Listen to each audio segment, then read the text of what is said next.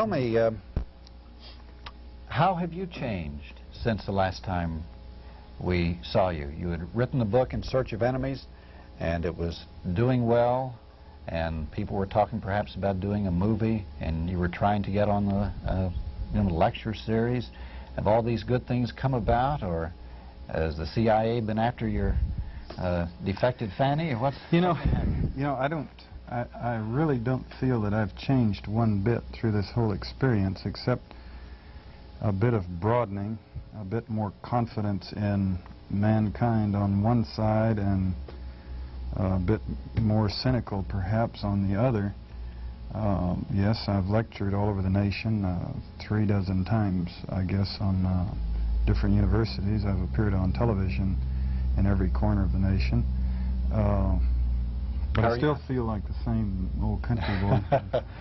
uh, how have you been received? Uh, and the reception, that's where the, the experience has been so rewarding. You know, inside the CI, you're very much uh, have the feeling of belonging to a religious order. Uh, that's not how you would verbalize it inside the CIA, but that's the effect. You, you live with CIA people, you socialize with CIA people, and you have quite a feeling that outsiders, the rest of the world, are hostile and misguided. And uh, that inside the CIA you're safe and you're with people you can trust and people who view the world correctly. And uh, it, it was the most refreshing thing about leaving the CIA and getting outside and meeting people in the press and the media and universities around the nation was to find how many really decent people they are, there are who, who are working hard for things they believe in and are quite responsive to someone who's, who's made a gesture, uh, as, as I have, to, to a moral gesture. And uh, lecturing, for example, I've, as I say, I've lectured, I guess, three dozen times. I haven't counted, but many, many times. And I have yet to have one lecture that did not go hours beyond the prescribed time. Even when I had to catch an airplane, they would still keep me for hours. Uh, a lecture, you know, would be scheduled for an hour, an hour and a half, and 15 minutes of uh, questions. And it would go on, in fact, uh, until midnight, 1 o'clock, with people asking questions and the discussion just flowing. And then, more often than not, go somewhere to drink beer and talk on until 3 or 4 in the morning. The interest is extremely high in this subject of, of the secret government and governmental abuses, the encroachment of the government on individuals inside our society, but also on, uh, on the peoples of the world. Speaking of which, John, have you been contacted or pressured by the CIA?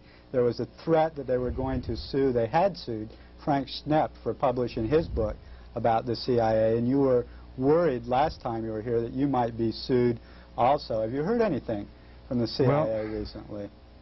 When they, when they sued Snepp, which was uh, spring a year ago, his book came out a few months before mine did, uh, which I regret because I, I, I think my book was a much better book in a moral sense, not quality of writing or anything. But uh, the government got to him first, just before my book came out, and sued him and made Snepp a test case. Then my book came out, and uh, unofficially they were, you know, talking in Washington. It was clear that the government was frustrated that they moved against him instead of me, and I was frustrated because there was going to be a Snepp precedent instead of a Stockwell precedent. And I think I would have put up a fight that would have been much more effective. For this reason, uh, Snepp believes in the CIA. He believes in covert action against the, the third world countries. He believes in secrecy. His only complaint was that in Vietnam there was a scandal at the end and it was covered up in the evacuation of Vietnam. I believe that the CIA is, is a, um, a moral uh, tragedy and that it's discredited the United States and that it should be closed down. That we should revert to openness and telling, telling it like it is and telling the truth to people. I think secrecy doesn't work. I think it masks and provides a cover for people to do things which would definitely be unacceptable to the society at large. There's nothing they do that is forthright, positive, that you can stand up in church or wherever you go and say, I'm, you know, this is what I did last week and I'm proud of it. Overseas, it's all. You're a secret operative. That means your existence there is a lie. You're pretending to be a diplomat or a scholar or something, which you're not.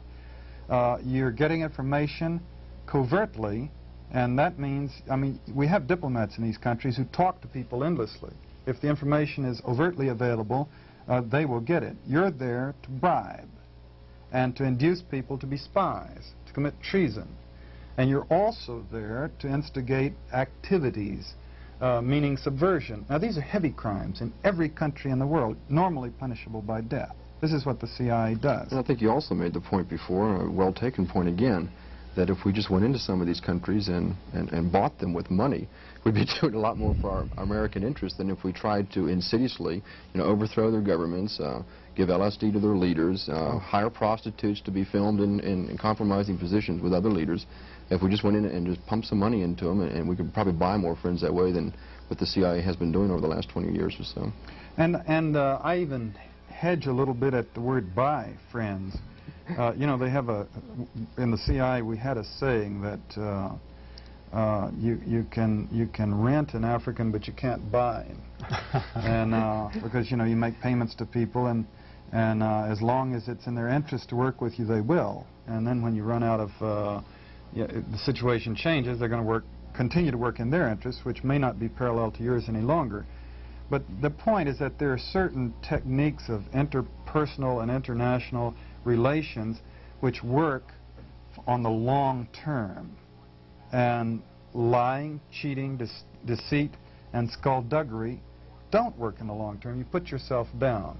Yes, if we would go in with this $13 billion alone and deal overtly with people, I, I'm sure, and work for sincerely for human rights and for democratic action so that those countries can try to have governments like our own and systems like our own, surely we would be further ahead than we are right now. What about intelligence gathering?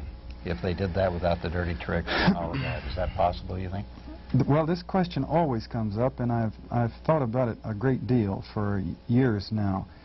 And I conclude, my own personal conclusion is quite firm, that the quality of our intelligence would be much greater if we did not have the CIA's covert collection uh, systems.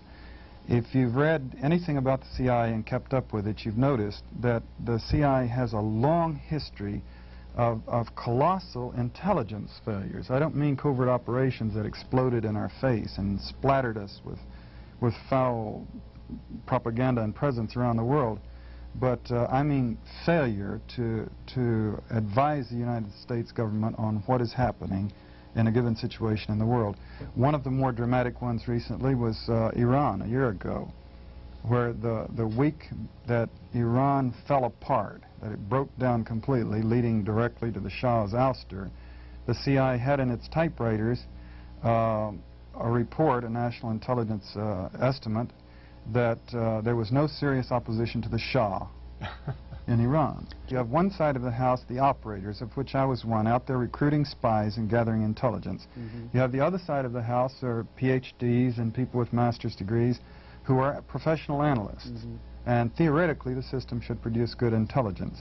The argument they always throw out is that the CIA, you have to have the human agent to find out what people intend to do. You can get their capabilities from their missile uh, manuals and whatnot, but what they intend to do with those missiles, you have to have uh, an agent penetration. The fallacy of this is that, uh, look at our own White House. Who would you have to have as your spy in the White House to know what the White House is going to do? I mean, obviously, the White House doesn't know what it's going to do in a given situation until usually a day or two after it's done it. Particularly this And uh, particularly this one, but the Nixon one was Yeah. wasn't much better, and you would have had to have had Henry Kissinger in your pocket to have an estimate of what was being done and what he was going to do. Spies are the most unreliable source of information that can be had. A spy is, by definition almost, a person of abnormal psychology. Normal people don't betray their countries Yeah. abnormal people do betray their countries for various reasons. A spy can be uh, an adventurer who's out to have fun, making up information, a fabricator for various reasons, a double agent working for his own country and for you, or working for his own country against you, or working for the French against both you and Russia. And you add this all up, inside the CIA, we took our own spy information with huge doses of salt. I could go on and on and on with, with illustrations. I think.